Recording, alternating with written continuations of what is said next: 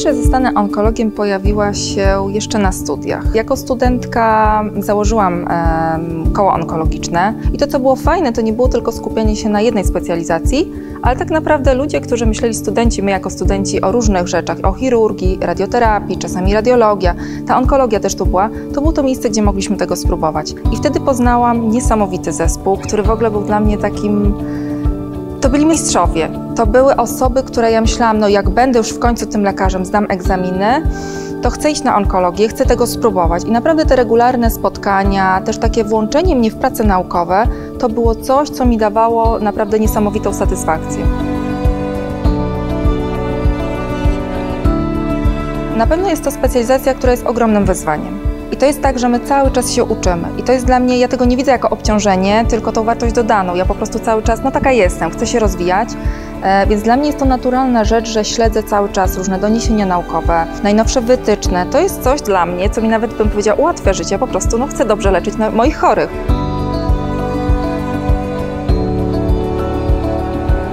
Onkologia jest tą dziedziną, w mojej ocenie, gdzie po prostu ten e, postęp chyba jest największy. Ja jak oceniam metody leczenia, które były dostępne 10 lat temu, 5 lat temu, a to gdzie my jesteśmy teraz, to jest w ogóle przepaść.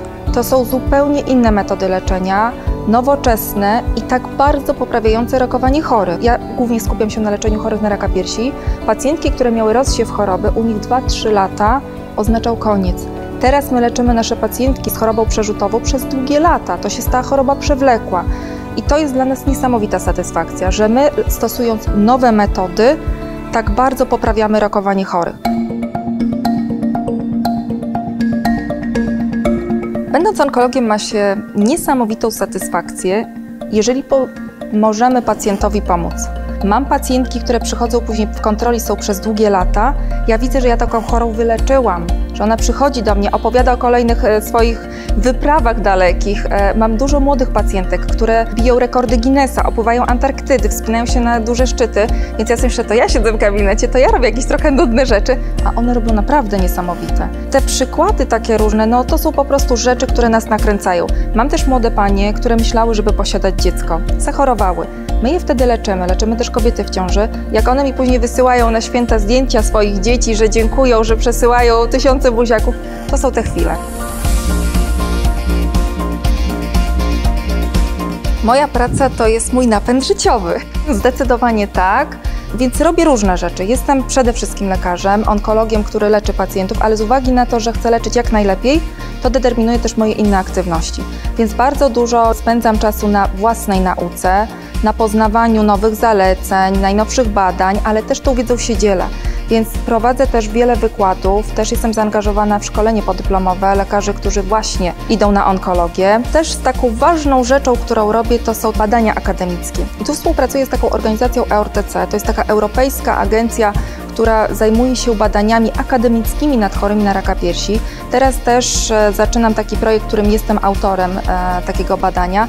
Wszystko chodzi o to, żeby wyniki leczenia naszych chorych były coraz lepsze. To, co jest dla mnie niesamowitym, tak myślę jednak osiągnięciem, to to, że ja współpracuję z kolegami z zagranicy. I to, że na przykład zrobiłam takie studia podyplomowe, właśnie specjalizujące się w raku piersi, z kolegami w gremium takim międzynarodowym. To, że brałam też udział w takim szkoleniu rocznym właśnie w EORTC dla młodych onkologów w Europie, to są te rzeczy, które są dla mnie najważniejszą taką rzeczą zawodową. Mam tą szansę, otwartą bramkę na zrobienie nowego projektu, gdzie jako lider tego badania będę u chorych na raka piersi. To są te rzeczy, które właśnie naprawdę są niesamowitym motorem e, i pokazują, że można. Kochani, myślę, że warto spróbować onkologii klinicznej. Jeżeli nawet nie czujecie, że to jest na pewno ten stuprocentowy wybór, ale jeżeli nie spróbujecie, nie macie tej szansy zobaczyć, czy rzeczywiście ta bardzo ważna dziedzina, która staje się chyba najważniejszą w Polsce, czy to jest ten wybór dla Was. Jest to bardzo ambitna praca, gdzie satysfakcja w mojej ocenie jest gwarantowana. Są sukcesy, są gdzieś małe porażki, które my tak odbieramy, ale na pewno jest to zawsze nasze działanie dla dobra pacjentów. Więc jeżeli tylko myślicie, że możecie spróbować, jak najbardziej Was zachęcam. Znajdźcie ośrodek, w którym dobrze się poczujecie, a wtedy jestem pewna, że ta onkologia to będzie Wasz wybór.